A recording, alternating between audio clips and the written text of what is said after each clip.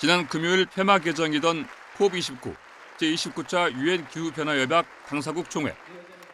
이틀 뒤 일요일이 돼서야 막을 내렸습니다. 기후 대응 재원 규모를 놓고 선진국과 개발도상국 간 견해차가 컸기 때문입니다. 선진국이 부담하는 액수를 2035년까지 연 3천억 달러, 우리 돈 약 421조 원으로 지난 2009년 합의액보다 3배 늘린다는데 가까스로 합의했습니다. 분담금을 내는 쪽에서는 이 정도면 의미 있는 성과라고 평가했습니다.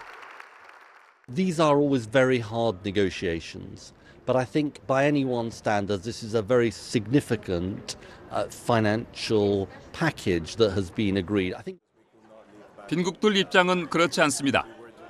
모욕이다, 의지 부족이라며 선진국들을 타박했습니다. I'm disappointed. It's definitely below the benchmark that we have been fighting for for so long. Uh, we were demanding 1.3 trillion, once again, 1% of global GDP.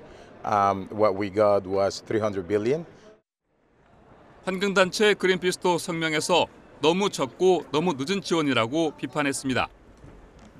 안토니우 그테우스 유엔 사무총장도 충분치 않은 재정이라며 아쉬움을 드러냈습니다. 다만 이번 총회에서는 탄소 배출권 거래 시스템을 설정한 점이 주요 성과로 꼽힙니다. 지난 2015년 파리 협정 제6조의 규정에 놓고도 10년 가까이 세부 이행 지침을 마련하지 못한 데서 뒤늦게나마 진전을 이룬 셈입니다. 다음 제30차 기후변화 총회는 내년 11월 브라질 벨랭에서 열립니다. YTN 황보선입니다.